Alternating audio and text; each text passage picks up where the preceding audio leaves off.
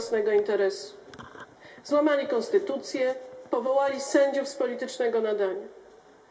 Orzeczenie Trybunału Konstytucyjnego z 3 grudnia zostanie opublikowane zgodnie z prawem i w terminie. Choć fakt, że zostało ono podjęte wbrew praktyce orzecznictwa, pozostaje bez zmian. I w tym miejscu chcę jednak przypomnieć tym, którzy tak mocno się o to orzeczenie upominają, że potwierdza ono, iż to Platforma złamała prawo. To działanie miało uniemożliwić rządowi Prawa i Sprawiedliwości wprowadzenie dobrej zmiany, czyli obniżenia wieku emerytalnego, realizacji programu dla rodzin 500+. Chciano w ten sposób zablokować opodatkowanie zagranicznych banków i hipermarketów.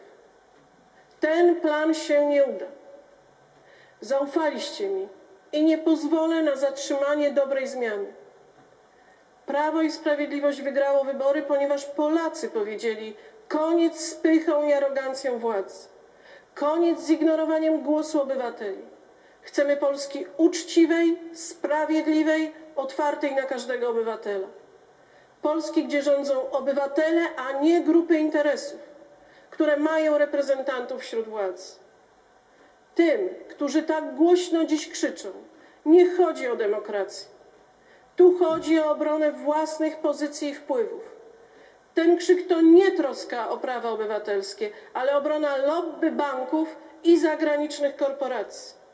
Tych wszystkich grup interesów, które przez ostatnie 8 lat bogaciły się kosztem Polaków.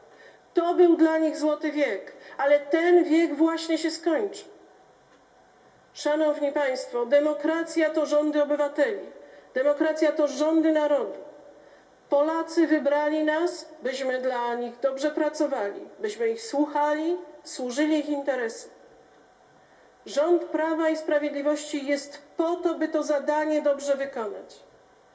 Dobro Polaków było, jest i zawsze będzie dla nas najwyższym nakazem. Szanowni Państwo, Polacy to wielki, mądry naród.